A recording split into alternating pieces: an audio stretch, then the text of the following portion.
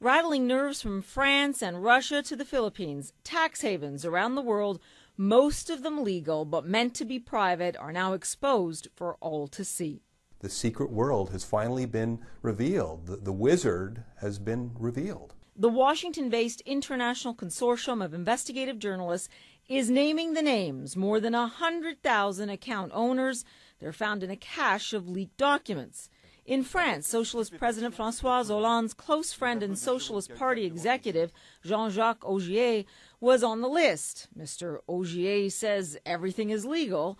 Still, it could be troubling for a government that's considering a 75% tax on the rich. In the Philippines, an offshore trust said to benefit the oldest daughter of the late dictator, Ferdinand Marcos, is also on the list. She's declined to answer questions about it. Investigative journalist Gerard Ryle says he got the break on the story when he received a package containing a hard drive. What's this?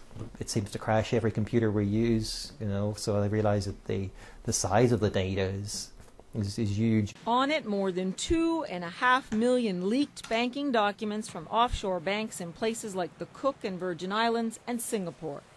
86 international journalists poured through them for more than a year. Also identified in the leaked records was Olga Shuvalova, the wife of Russia's deputy prime minister, Igor Shuvalov. This could anger President Vladimir Putin of Russia, who has railed against the use of offshore wealth havens among Russia's elite.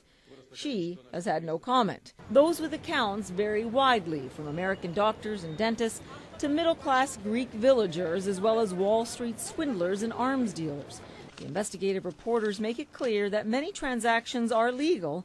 Having cash in tax havens is not illegal, but hiding it from tax authorities is.